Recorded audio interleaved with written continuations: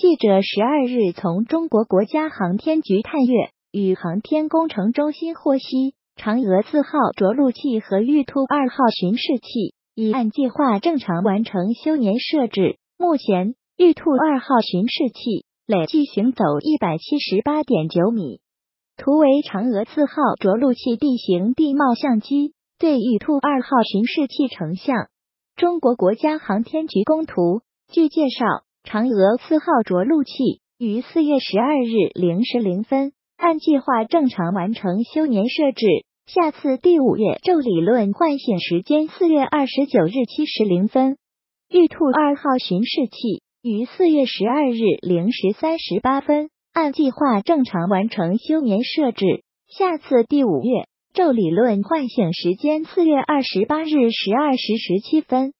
二零一八年十二月八日凌晨两时二十三分，中国在西昌卫星发射中心用长征三号乙运载火箭成功发射嫦娥四号探测器，开启人类首次月球背面软着陆探测之旅。二零一九年一月三日。嫦娥四号探测器成功着陆在月球背面东经一百七十七点六度、南纬四十五点五度附近的预选着陆区。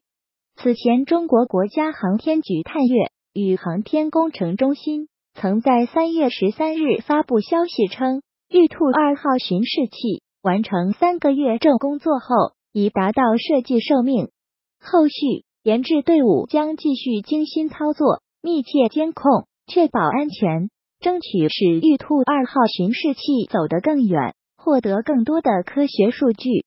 前三个月昼工作期间，玉兔二号巡视器累计行走一百六十三米；而在第四月昼工作期间，玉兔二号巡视器继续行走十五点九米。